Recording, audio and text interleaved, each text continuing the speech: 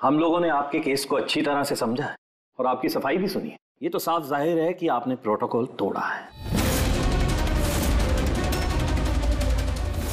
इससे पहले कि हम कोई निर्णय लें अगर आप अपनी सफ़ाई में कुछ कहना चाहते हैं तो कह सकते हैं। तो जब आप लोगों ने तय कर ही लिया कि हमने प्रोटोकॉल तोड़ा है तो मेरा बचा ही क्या है? सफ़ाई देने के लिए। देखिए मिस्टर प्रद्युम्न हमारी आपसे कोई पर्सनल दुश्मनी नहीं है। हम जो भी कह रहे हैं साक्ष्य के आधार पर कह रहे हैं। सर हम सब पिछले 20 साल से सीआईडी में काम कर रहे हैं पिछले 20 साल से। हमने कोई भेदभाव नहीं किया है। यहाँ तक कि सीआईडी के लिए हम लोगों ने अपना खून भी बहाया। देखिए कभी कभी सिचुएशन के हिसाब से हमें फ़ौरन मुश्किल डिसीज़न लेने पड़ते हैं। और प्रोटोकॉल को ध्यान में रखते हुए हमें चुप रह जाना पड़ता है। और इसके बावजूद भी हम अपराधियों को उनके अंजाम तक पहुंचाते हैं। देखिए हम आपकी बात को समझते हैं। लेकिन नियमों का पालन करना भी ज़रूरी होता है ये तो आप जानते हैं ना। हमेशा नियमों पर भरोसा नहीं किया जा सकता सर। हमारा काम ही कुछ ऐसा है। सिचुएशन के हिसाब से हमें उसी समय तुरंत डिसीज़न लेना पड़ता है। और जहाँ तक दया के केस का सवाल है प्रोटोकॉल तोड़ने की ज़रूरत थी वजह थी सर। दया एक जाबाज सीआईडी ऑफिसर है सर। सीआईडी के लिए कुछ भी कर सकता है। हम इसे ऐसे नहीं छोड़ सकते थे। इसके बावजूद भी अगर आप लोगों को लगता कि हमने प्रोटोकॉल तोड़ा है डिसिप्लिन तोड़ी है तब जो भी सजा देंगे हमें मंजूर है।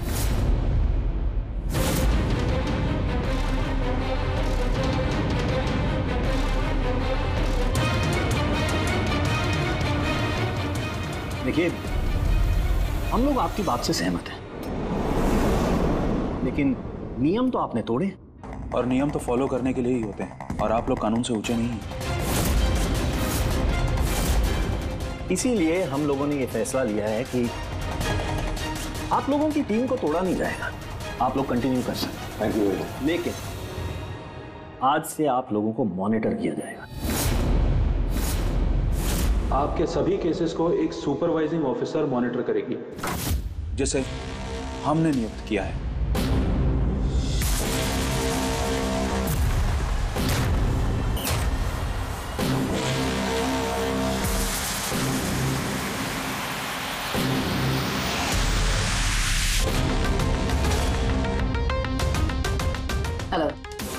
मेरा नाम शीतल है। आज से शीतल ही आपको मॉनिटर करेंगे। मॉनिटर करेंगे मतलब? मतलब यह है कि आपके केसेस की जो भी एक्टिविटी होगी आज से शीतल हमें बताएँगे। और आपके केसेस की सारी जानकारी रखने का पूरा अधिकार है शीतल को। आप लोगों की टीम आगे रहेगी या नहीं रहेगी ये भी हम शीतल जी की रिपोर्ट आने के बाद ही निर्णय लेंगे। देखिए, आज तक आप लोगों ने जो चाहा वो किया, लेकिन अब सिचुएशन बदल चुकी है। अब से आपको अपने हर केस में शीतल को इन्वॉल्व करना पड़ेगा।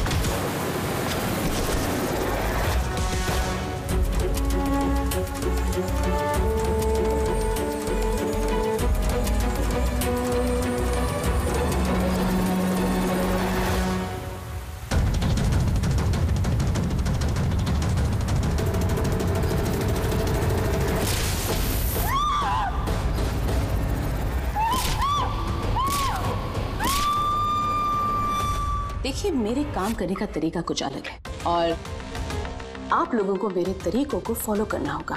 कुल मिला के आप ये कहना चाहती है कि अब से आप हमारी बॉस हैं। नहीं नहीं। I don't like the word boss boss कहना उचित नहीं होगा। देखिए मैं यहाँ पर आई हूँ आपके केसेस को स्मूथली हैंडल करने। और मैं चाहूँगी कि इसमें डिसीज़न मेरा फाइनल है। देखिए प्लीज़ नाराज़ होने की कोई ज़रूरत नहीं है। क्योंकि मैं बस ऑर्डर्स फॉलो कर रही हूँ। इनफैक्ट मेरे पास ऑर्डर भी है। और इसमें तो साफ़ साफ़ लिखा है कि आज के बाद जो भी केस की इन्वेस्टिगेशन आप लोग करेंगे, वो मेरे देखरेख में होगी। आपको मुझे लूप में रखना होगा। और हर एक इन्वेस्टिगेशन केस की रिपोर्ट आपको मुझे देनी होगी। And that also includes forensic investigation well इसमें यह भी लिखा है कि किसी भी सस्पेक्ट के साथ कोई भी फ़िज़िकल वायलेंस करने से पहले आपको मुझे पूछना होगा देखिए हेलो प्रद्युमन अच्छा ठीक है हम लोग आते हैं ओके दो दो खून हुए हमें निकलना होगा कितने जल्दी निकलेंगे आप फाइंड आउट नहीं करेंगे कि वो कॉल फ्रॉड है कि नहीं सचमुच ये मर्डर्स हुए हैं कि नहीं ऐसे निकलेंगे शीतल जी आपसे बात करके अच्छा लगा लेकिन दरअसल बात यह है कि दो दो खून हुए इसलिए इन्वेस्टिगेशन के लिए जाना होगा। हाँ आपको हम सब रिपोर्ट भेज देंगे। आपको लूप में जो रखना है। Let's go.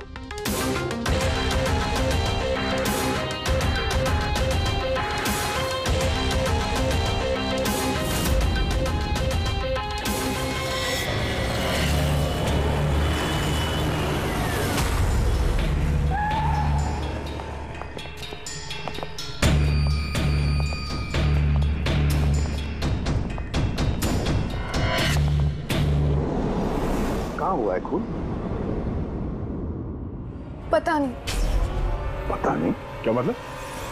आप लोगों ने फ़ोन करके बोला था कि खून हुआ है यहाँ पे। दो दो खून हुए इसलिए मैंने आप लोगों को बुलाया। दो खून हुए तो फिर खून हुए कहाँ? लाशें कहाँ हैं? पता नहीं सर। मैंने सिर्फ़ सुना। क्या सुना है तुमने? चीखने चिल्लाने की आवाज़? नहीं मैंने सब कुछ सुना। देखा भी है बट मैं वहाँ थी नहीं। सर इसने कोई बुरा सपना देखा और अब इस तरह की बातें कर रही है? नहीं मैडम सपना नहीं है। मैंने खून होते हुए देखा है। कब कहा कैसे ये नहीं पता क्योंकि मैं वहाँ थी ही नहीं। जब आप वहाँ पर थी नहीं तो आप आपने ये खून होते हुए कैसे देख लिया? इस ट्यून से।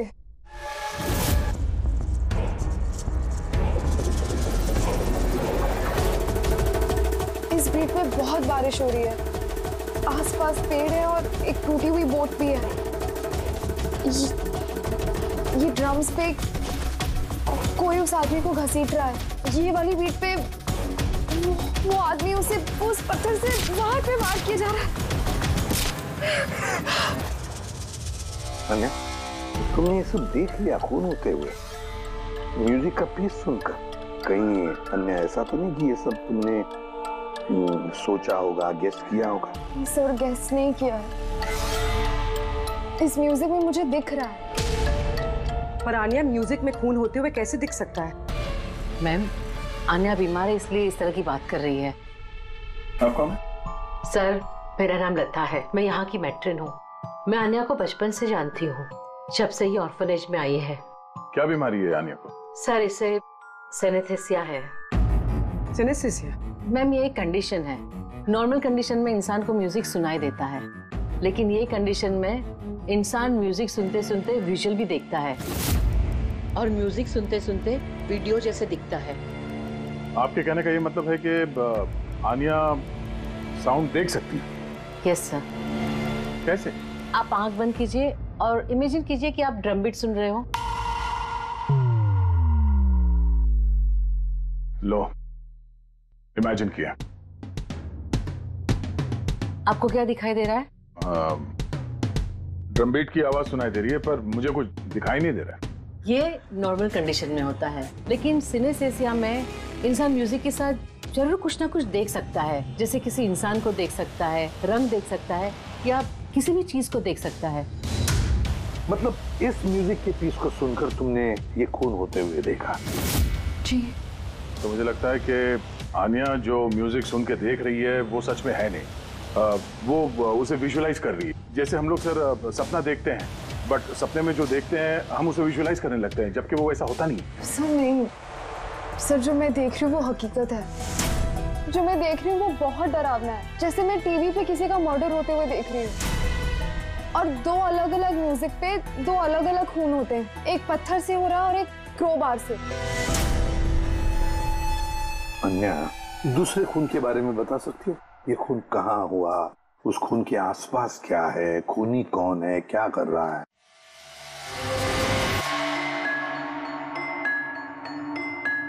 आसपास पहाड़ी है। ए, एक आदमी नीचे गिरा हुआ है। अपने आप को बचाने की कोशिश कर रहा है। सर वो आ गया। आ गया सर। वो, वो उसे मार रहा है क्रोबार से। सर लगातार मारते जा रहा है। चेहरा नहीं देखा खूनी का ठीक है हम इस केस की तहकीकात करेंगे। सर मैंने ऐसे केस के बारे में तो नहीं सुना। पर पूर्वी जिस तरह से इतनी सारी डिटेल इस बच्ची ने हमें सब बताया है तो शक होता है कि कहीं सच तो नहीं कह रही है। सर मुझे कुछ याद आ रहा है जैसे इस लड़की ने बताया ऐसा मैंने कहीं पे पढ़ा था सर। कहीं पे पत्थर से खून हुआ है। तो फिर एक काम करो दे।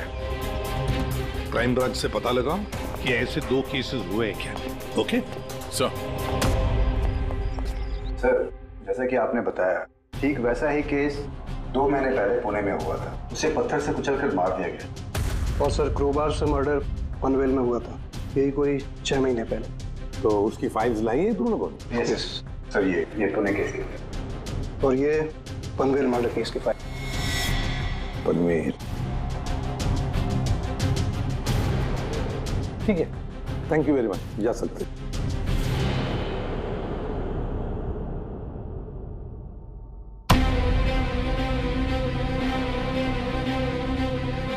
मैंने खून होते हुए देखा है। आसपास पेड़ है और एक टूटी हुई बोट भी है। वो उस पत्थर से वार पे वार किया जा रहा है। जो विजुअल देखा था ठीक वैसे ही सर ये फ़ोटो में। मतलब जो आन्या ने बताया वो सब सच है। कमाल है सर। इन दोनों हादसों के बारे में अन्या ने म्यूज़िक सुनकर आज विजुलाइज किया। जबकि ये हादसे तो छह महीने पहले और ये दूसरा तो दो महीने पहले हो चुका है। ये कैसे हो सकता है? जो लड़की इस क्राइम सीन पे थी भी नहीं उसने ये सब कुछ विजुअलाइज कैसे किया? सिनेस्थेसिया की वजह से। मैं नहीं मानती।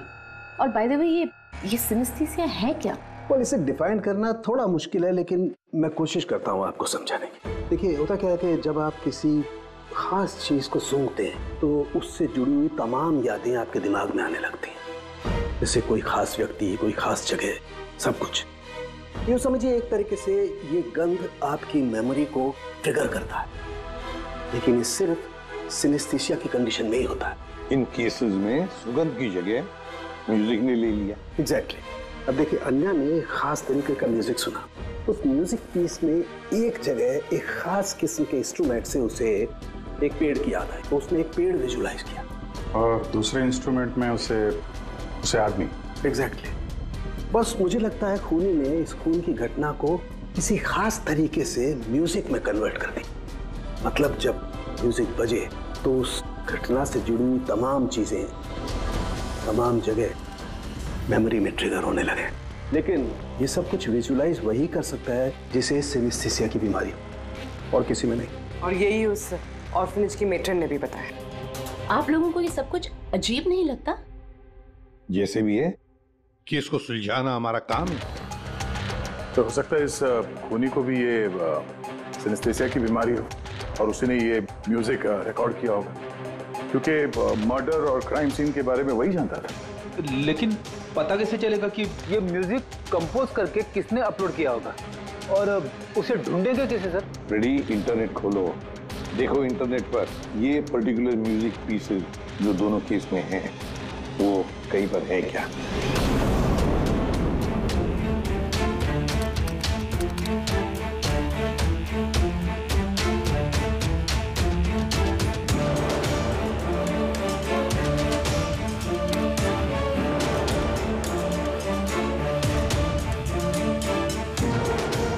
सर सर मिल गया। सर दोनों ट्यून एक ही गाने का हिस्सा है। आ, एक इंडी रॉक ग्रुप ने बना है। देख रहा हूँ इस इंडी रॉक बैंड वालों को यहाँ पर। राइट सर um, ओके आप लोग अपनी इन्वेस्टिगेशन करते रहिए। मैं कुछ दूसरे काम से आती हूँ।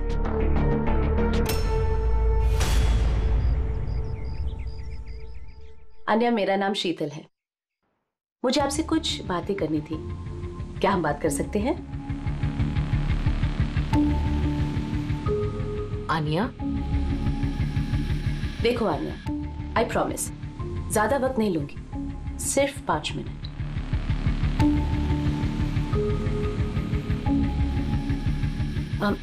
ये कुछ बोल क्यों नहीं रही है? मैम वो बहुत डरी हुई है। उस इंसिडेंट ने उसके दिमाग पर बहुत असर छोड़ा है। उसे नॉर्मल होने में थोड़ा वक्त चाहिए। हम्म ओके अम, मुझे आने के बारे में यहाँ के कुछ लोगों से बातें करनी है। पॉसिबल है? क्या प्लीज़ म्यूज़िक ट्यून से खून? ये कैसे पॉसिबल है सर पॉसिबल है। सिनेस्थेसिया के एक मरीज़ ने तुम्हारे इस म्यूज़िक के पीस को सुनकर एक खून होते हुए विजुलाइज किया। समझे? तुम्हारे इस म्यूज़िक के पीस में एक खून का राज छुपा है। और हमारे हिसाब से खूनी वही है जिसने ये ट्यून बनाई है। हम लोगों ने खून नहीं किया। और हकीकत तो यह है कि ये ट्यून हम लोगों ने कंपोज ही नहीं की है ये ट्यून हम लोगों ने फ्री साइट से डाउनलोड की थी। कौन से साइट से डाउनलोड की दिखाओ। देखिए सर।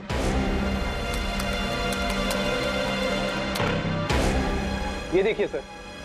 सर ये ट्यून हमें पसंद है इसलिए हमने डाउनलोड करके अपने गाने में डाल दी किसने अपलोड की थी ये ट्यून इस साइट पर? सर ये गुमनाम है। एनोनिमस एनोनिमस हमें इस एनोनिमस को ढूंढना है। मैम ये हमारा स्टाफ है। ये है पूजा ये है रमेश ये आरती है। वैसे तो एनजीओ में काम करती है लेकिन अक्सर हमारे ऑर्फेनेज में आती जाती रहती है। आपसे कुछ बातें करनी थी एक्चुअली आन्या के बारे में। क्या आप लोग मुझे आन्या के बारे में कुछ बता सकते हैं? जैसे कि वो कहाँ से आई कब आई और ओवरऑल ऑर्फेनेज में आन्या का बर्ताव कैसा है? आनिया बड़ी ही अजीब लड़की है। हमेशा डिस्टर्ब रहती है। यहाँ कब आई बचपन से ही लेकिन उसे अलग अलग दो बार लोगों ने अडॉप्ट किया। और पता नहीं क्यों कुछ दिन रखने के बाद उसे वापस यहाँ पे आके छोड़ दिया। क्यों? कोई वजह? उसके बुरे बर्ताव की वजह से उसके वक्त पे वक्त झगड़ा करने की वजह से बात बात में वायलेंट हो जाती थी। बस ये उसकी आदत बचपन ही से थी। क्या बकवास कर रहे तुम? अन्य ऐसी नहीं है मैडम। ये सब गलत बोल रहा है। मैम सच में मैं यहाँ अक्सर आती जाती रहती हूँ। मैंने कभी भी आनिया को ऐसे बिहेव करते हुए नहीं देखा है। ये सब गलत बोल रहा है। तो फिर सही बात क्या है? सच तो ये है मैडम। अन्या का बचपन बहुत ही मुश्किलों में बीता है।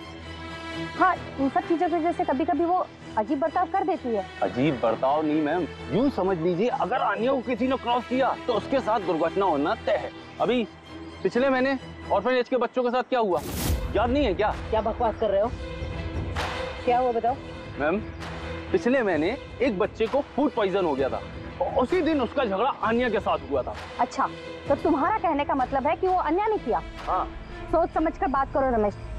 बहुत ही गंभीर आरोप लगा रहे हो अन्या पर तुम। मेट्रन आन्या को ऑर्फनेज से दो फैमिलीज़ ने अडॉप्ट किया लेकिन उसे वापस कर दिया।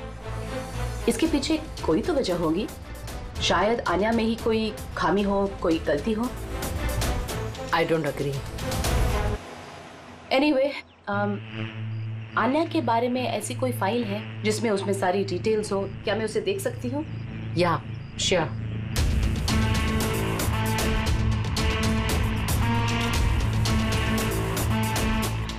ये लीजिए। थैंक यू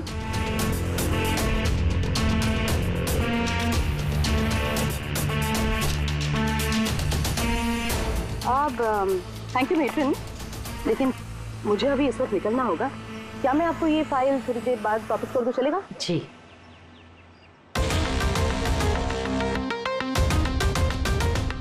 हेलो मुझे जिन जिन लोगों को सिनिस्थीसिया है ना उन टाइप के लोगों से मिलना है और कुछ जानना है उनके बारे में। इन तीनों लोगों को सिनिस्थीसिया है। एक मिनट। आपको कुछ दिखाना चाहती हूँ मैं।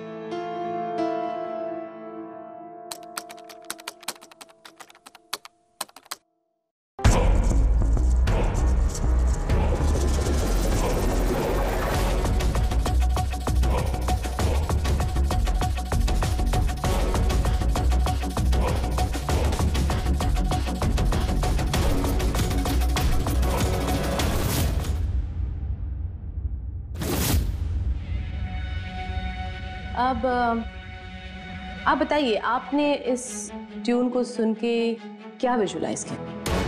मैम मैंने एक बहुत बड़ा घास का मैदान देखा जहाँ पे गाय घास खा रही थी और सूरज साफ़ दिख रहा था। मैंने एक नदी देखी। वहाँ नाव थी और मैंने देखा वहाँ पे कुछ लोग आग जला के बैठे हुए थे। इंटरेस्टिंग चलिए आखिर में आप बताइए आपने क्या देखा? शहर। शहर देखा मैंने। एक भीड़ भाड़ वाला इलाका। और ऊँची ऊँची बिल्डिंगें थी। और उसके ऊपर विज्ञापनों के लाइट्स लगे हुए इंटरेस्टिंग थ्री डिफरेंट इंटरप्रिटेशंस अच्छा है आपने देख भी लिया और खुद अपने कानों से सुन भी लिया। तीन लोग जिन्हें सिनेस्थीसिया है उन्होंने वही ट्यून सुनी लेकिन तीन अलग विजुअल्स देखे। और आनिया ने इसी म्यूज़िक पे खून होते हुए देखा है। Exactly exactly. दुनिया में ऐसा एक ही शख्स है जो इस म्यूज़िक ट्यून को खून पे इंटरप्रेट करे। कौन? खुद खूनी। और वो खूनी और कोई नहीं। आन्या ये आप क्या कह रही थी? अन्य बेगुनाह है देखिए सीपी साहब केस सबूत पे सॉल्व होता है भावनाओं पे नहीं। और मैं भावनाओं में बहने की गलती नहीं करती। मैं ऑर्फिनेज गई। और वहाँ जाकर पता चला कि आन्या को दो फैमिलीज़ ने अडॉप्ट किया था। लेकिन बस कुछ ही दिनों बाद उन दोनों फैमिलीज़ ने आन्या को वापस ऑर्फिनेज छोड़ दिया। और वो दो लोग वही थे जिसका मर्डर हुआ, जिसने आन्या को अडॉप्ट किया।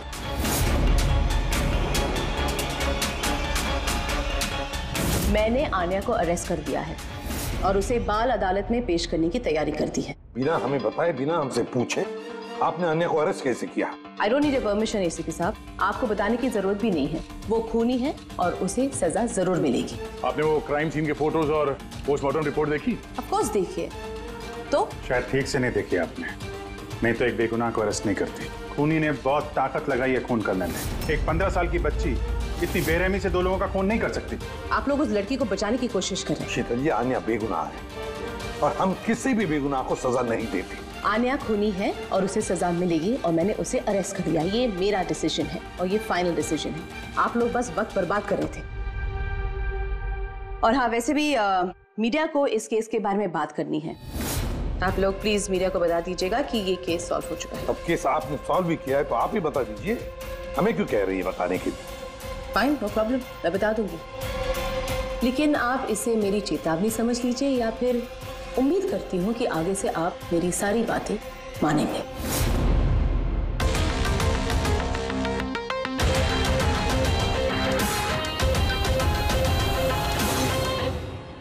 आप लोगों को जानकर बहुत खुशी होगी कि ये केस सॉल्व हो चुका है। मैम कौन है खूनी? खूनी एक 16 साल की लड़की है जिसका नाम आन्या है। काफ़ी समय तक वो हम सबको बेवकूफ़ बनाकर आज़ाद घूम रही थी। लेकिन मैंने उसकी असलियत पकड़ ली। मैम ये केस तो काफ़ी पुराना है ना? जी हाँ ये केस काफ़ी पुराना था। इनफैक्ट काफ़ी समय तक क्राइम ब्रांच के ठंडे बस्ते में पड़ा था। लेकिन सीआईडी ने जैसे टेक ओवर कर लिया 24 घंटे में केस सॉल्व तो मैम आप भी सीआईडी टीम का हिस्सा है? जी हाँ मैंने अभी अभी सीआईडी टीम ज्वाइन किया है एज ए सुपरवाइजर और ज्वाइन करते ही एक दिन में केस सॉल्व हो गया।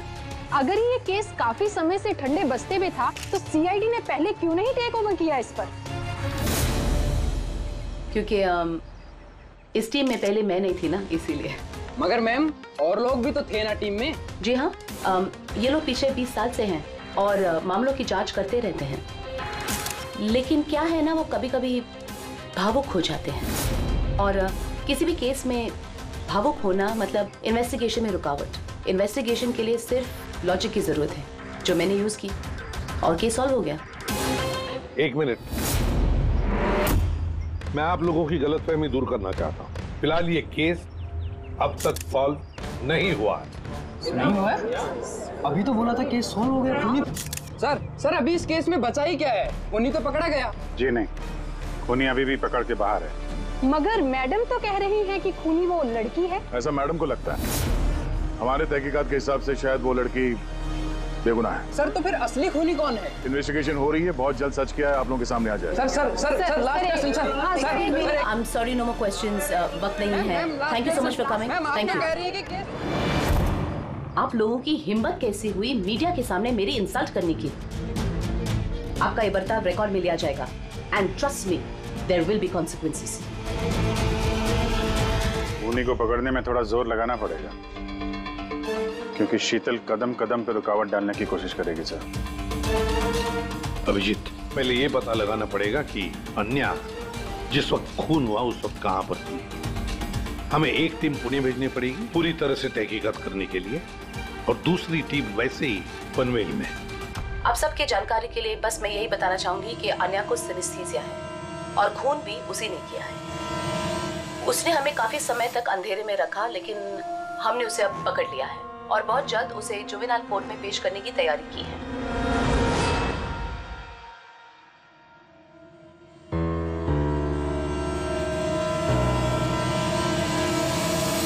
देखिए तेईस फरवरी को शाम के चार और सात बजे के बीच अन्या कहाँ पर थी? यूजुअली बच्चे शाम को बाहर निकलते हैं खेलने के लिए और नौ बजे तक अंदर आ जाते हैं। तो क्या अन्या ऑर्फनेज में थी या कहीं बाहर गई थी? नहीं सर। आनिया ऑर्फनेज में ही थी कहीं बाहर नहीं गई थी। ये आप इतने यकीन के साथ कैसे दे सकती है? इसलिए कह सकती हूँ क्योंकि मेरी इजाज़त के बिना कोई भी बच्चा बाहर नहीं जा सकता। मगर कभी कभी अन्य कई कई घंटों के लिए ऑर्फनेज से गायब रहती थी। वो भी तो बताओ इनको। सर ये झूठ बोल रहा है क्योंकि ये अन्या से जलता है। मैं क्यों जलने लगा अन्या से? तो फिर उसकी चुगली क्यों कर रहे हो? हमें आने ने बताया कि यहाँ पे कुछ लोग उससे जलते हैं। सर मैं सिर्फ़ आप लोगों को अन्या के बारे में जानकारी दे रहा था। तो फिर ये भी बताओ ना कि पिछले साल अन्या ने तुम्हारे खिलाफ कंप्लेन की थी? इनके खिलाफ क्यों? सर ये के लड़कों को मारता पीटता था। अन्या ने कंप्लेन की थी इसके खिलाफ। सस्पेंड भी हुआ था। तब से ही अन्या से नफरत करता है सर। एक बात बताओ अन्या को म्यूज़िक पीस सुनने के लिए किसने कहा था? सर इसने हाँ सर। अन्या को म्यूज़िक बहुत पसंद था। बहुत बार मैंने उसे अलग अलग गाने सुनते हुए देखे थे इसलिए मैंने उसे वो म्यूज़िक सुनने दे दिया। अब मुझे क्या पता था इतनी बड़ी प्रॉब्लम हो जाएगी। वैसे आप लोगों में से कोई म्यूज़िक इंस्ट्रूमेंट बजाना जानता है? सर मैं पियानो बजाती हूँ। सर मैं भी पियानो बजाती हूँ। अच्छा एक बात बताइए। जिस दिन पूना में खून हुआ था उस दिन आप लोग कहाँ थे? हम सब कुछ बच्चों को लेकर पुणे गए थे। तो आप लोग उस दिन पुणे में ही थे? क्या था पूना में? वहाँ पर एक इवेंट था इसलिए। सर ये सारे के सारे शरीफ होने का नाटक कर रहे हैं। काम करते हैं। इन सब के कंप्यूटर चेक करो। देखो क्या किसी ने वो म्यूज़िक का पीस बनाया और अपलोड किया है। क्योंकि जिसने भी ये म्यूज़िक पीस बनाकर अपलोड किया है ना वही खूनी हो सकता है।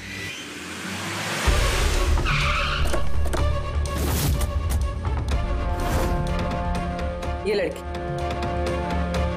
ये यहाँ पर दो महीने पहले आई थी? हाँ मैम। ये दो महीने पहले एक एनजीओ ने इवेंट ऑर्गेनाइज करवाया था। तो उसी इवेंट में डांस करने आई थी। इसने बहुत अच्छा डांस किया था sir. She is a very talented girl और उसी दिन यहाँ आसपास एक एक खून भी हुआ था। खून तो हुआ था सर। लेकिन जिस जगह पे खून हुआ था वो यहाँ से लगभग एक घंटे की दूरी पे है। और ये इवेंट उस दिन कितने बजे शुरू हुआ था? पाँच बजे शुरू हुआ था और रात करीब आठ बजे खत्म हुआ था सर। अच्छा आप लोग को याद है ये लड़की पूरा समय इवेंट पे ही थी या कुछ समय के लिए गायब भी हुई थी? ये लड़की छः बजे स्टेज पे आई थी और इवेंट खत्म होने तक स्टेज पे ही थी। सर मेडिकल रिपोर्ट के हिसाब से खून तीन से छह बजे के बीच ही हुआ है। ये देखो ये वो जगह है जहाँ पे खून हुआ था और इस जगह पे इवेंट था। यहाँ से यहाँ पहुँचने में कम से कम एक घंटा लगता है। सर हो सकता है। आनिया दोपहर को ही निकल गई हो। फ़ोन करके फिर उसने इवेंट ज्वाइन कर लिया। अरे नहीं नहीं मैम ऐसा कुछ भी नहीं है। एक्चुअली इवेंट शुरू होने से पहले आफ्टरनून में रिहर्सल थी और वो लड़की वहाँ पर चार बजे तक थी। इसके बाद पाँच बजे से बैक स्टेज पर सारे स्टूडेंट इकट्ठा होने शुरू हो गए थे। चार बजे रिहर्सल पे थी वो? जी। पाँच बजे बैक स्टेज यस जैसे कि आपने कहा कि छह बजे वो स्टेज पे थी। अगर ऐसा है तो आनिया खून कैसे कर सकती है? हाँ सर। अगर अगर खून आनिया ने नहीं किया तो फिर खून किया किसने? सारे रिपोर्ट्स और एविडेंसेस को स्टडी करने के बाद मुझे लगता है कि अनिया निर्दोष है। आपको कोई ऑब्जेक्शन है? नो योर लेकिन सर ये सिर्फ़ पुणे मर्डर केस के एविडेंस और रिपोर्ट्स हैं। पनवेल मर्डर केस में निर्दोष साबित करने के लिए कोई एविडेंस और कोई रिपोर्ट्स नहीं है। ऐसा हो सकता है कि अन्य ऑर्फेनेज से बाहर निकल गई और मर्डर किया उसने फिर वापस चली गई। It can be possible right sir आपके पास अगर कोई सबूत है तो प्लीज़ पेश करें। जिससे ये साबित हो सके कि जब खून हुआ तब अन्या पनवेल में थी। देखिए एविडेंसेस और विटनेसेस के अभाव में ये केस डिसमिस कर दिया जाता है। अन्या को प्लीज़ छोड़ दिया जाए।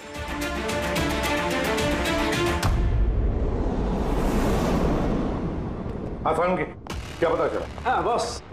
बॉस समझ लो इस केस की चाबी मिल गई। और शीतल ने डेमोन्स्ट्रेट करके बताया था कि सिनेस्थीसिया के दो अलग अलग मरीज़ एक ही जैसा म्यूज़िक सुनने के बाद अलग अलग तरीके से इंटरप्रेट करते हैं। हाँ। लेकिन बॉस मैंने अपने दोस्त से जानकारी की जो इस मामले का एक्सपर्ट है। उसने मुझे कुछ अलग ही बात बताई।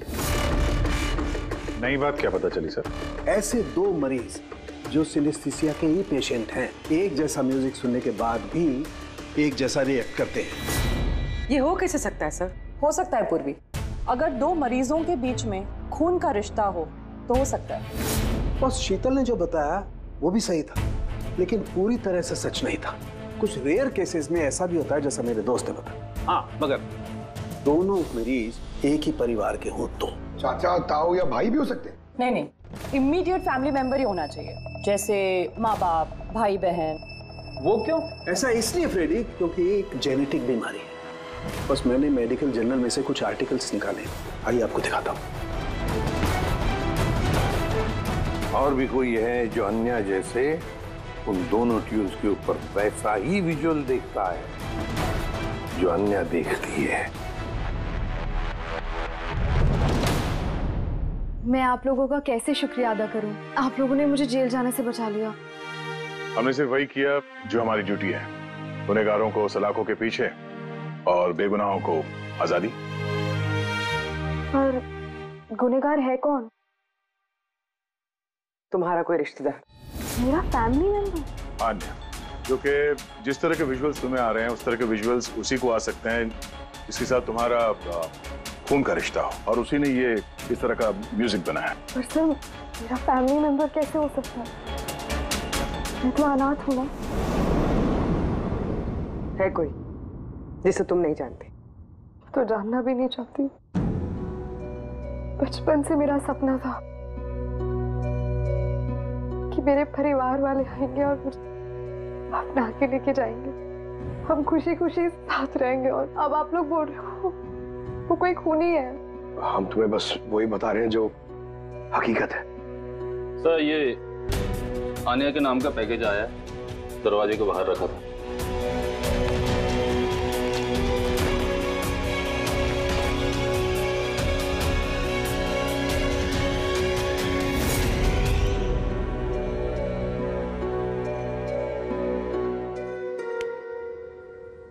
पेन ड्राइव पंकज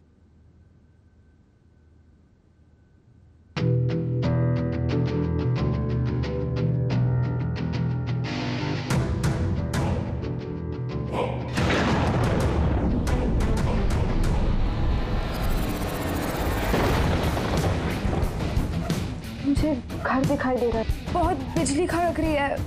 कोई औरत घर के अंदर भाग रही है और और एक झूला भी है वहाँ। कोई उस औरत के पीछे क्रोबार लेके भाग रहा है। और क्या? वो वो उसे क्रोबार से मारा किस औरत को मार रहा है? पता नहीं। पर इसमें तो एक नोट भी है। आनिया ये तुम्हारा फ्यूचर है। इसमें जो हुआ है ठीक तुम्हारे साथ वैसे ही हो। और इसे कोई नहीं रोक सकता। म्यूज़िक के हिसाब से जो आने ने देखा कोई उस औरत को मारने वाला है। और एक एक घर है घर के सामने एक बिजली कड़क रही है और और झूला है। और सर खूनी ने खून क्रोबार के साथ किया अभी तक हमें लगता था कि खूनी पहले खून करता है और फिर म्यूज़िक बनाता है पर यहाँ तो उल्टा है। पहले एक खूनी मर्डर प्लान करता है फिर म्यूज़िक बनाता है और फिर म्यूज़िक के हिसाब से खून करता है। मुझे मुझे मरना नहीं है। प्लीज़ मुझे बचा लो। अनिया घबराओ मत। तुम्हें कुछ नहीं होगा। हम लोग हैं ना तुम्हारे साथ? सबसे पहले उस खूनी को ढूंढना होगा किसी भी हाल में। अगर खूनी आन्या के परिवार वालों में से कोई है तो उसे ढूंढेंगे किसे? ढूँढने के लिए हमें पहले ये पता करना पड़ेगा कि 16 साल पहले आन्या को ऑफनेज में लेके कौन आया था। शायद उसे पता हो आन्या के परिवार के बारे में। आपको कुछ याद है कौन था वो? जो आन्या को यहाँ छोड़ गया था। नहीं याद तो नहीं है। सोलह साल पहले कोई उसे बाहर छोड़कर चला गया था।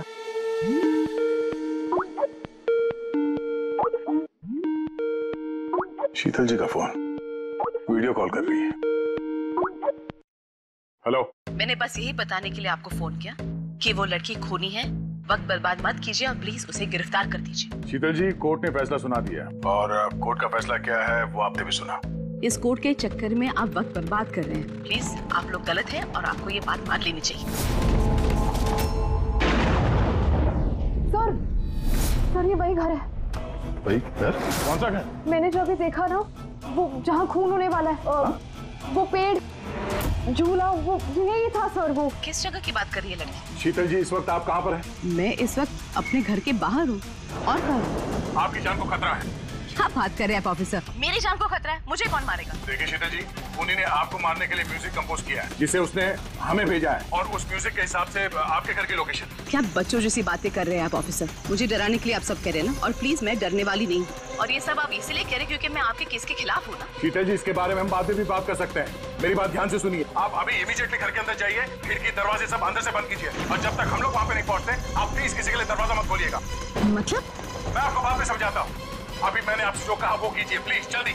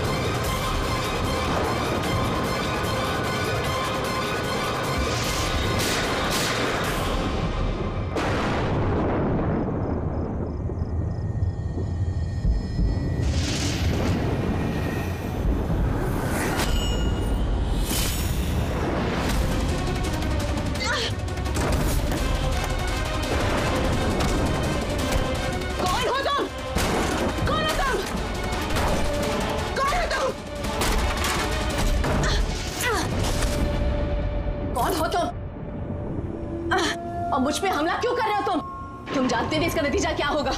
आई एम अ कॉप तुम कानून से दूर नहीं भाग सकते। कौन हो तुम?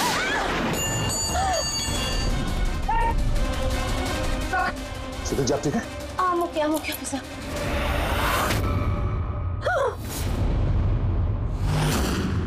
आरती तुम? सर मैं भी पियानो बजाती हूँ।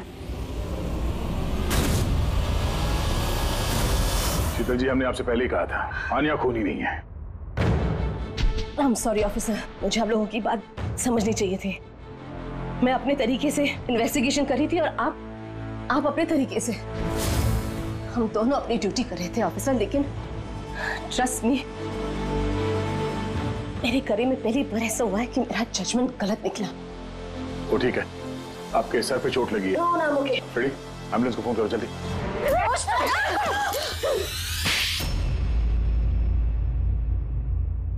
शीतल जी पे हमला क्यों किया तुमने? अपनी बेटी को बचाने के लिए। कौन सी बेटी को बचाने? आन्या को। आन्या मेरी बेटी है और शीतल उसको जेल भेजने पर तुली थी। इसीलिए मैं उसको सबक सिखाना चाहती थी। और खून क्यों किया? सत्रह साल पहले जब मैं प्रेग्नेंट थी मेरे पति मुझे मेंटल असाइलम में छोड़ दिए। क्योंकि मैं दिमागी तौर से बीमार थी। वहाँ मैं पंद्रह साल रही। मगर मगर क्या? मगर मेरे पति ने मेरी ममता का गला घोट दिया। कैसे? आन्या वहाँ पैदा हुई। पर उसे मुझसे छीन लिया गया। पंद्रह साल बाद जब मैं बाहर आई तो मुझे पता चला कि मेरे पति मर चुके हैं। पर आन्या कहाँ है मुझे कुछ पता नहीं था। वो ज़िंदा भी है या नहीं ये भी मैं नहीं जानती थी। मैंने कई ऑर्फनेज में ढूँढने की कोशिश की उसे पर वो कहीं नहीं मिली। आन्या के बारे में कैसे पता चला तुम्हें? छह महीने पहले जब मैं इस ऑर्फनेज में आई तो मुझे आन्या की केस फ़ाइल मिली। मुझे पता चला कि आन्या को दो लोगों ने अडॉप्ट किया। और फिर उसे वापस छोड़ दिया। पर जैसे ही मुझे पता चला कि आमिया को सिनेस्थेसिया है और वो वो सब कुछ देख सकती है जो मैंने म्यूज़िक पे प्लान किया था तो मुझे रियलाइज़ हो गया कि आन्या मेरी बेटी है। इसीलिए मैंने उन दोनों को मार दिया। मुझे उन लोगों से नफरत है, जो अनाथ बच्चों को अडॉप्ट करते हैं और फिर वापस उन्हें छोड़ देते हैं। मैं आन्या को मिलकर सब कुछ बता देना चाहती थी, लेकिन आप लोगों की तहकीकात की वजह से मैं रुक गई, क्योंकि मुझे लगा कि आप लोग आन्या पे शक करेंगे। इसीलिए मैंने लेटर भेजकर आप लोगों का ध्यान दूसरी तरफ़ मोड़ने की कोशिश की, लेकिन आप लोगों ने मेरे प्लान को चौपट कर दिया। जिस बेटी को पाने के लिए तुमने दो लोगों को जान से मार दिया, अब ज़िंदगी भर उस बेटी से दूर रहना पड़ेगा तुम्हें। सलाखों के पीछे काल कोठरी में। For more updates, subscribe to our channel, click the show links and enjoy watching the videos.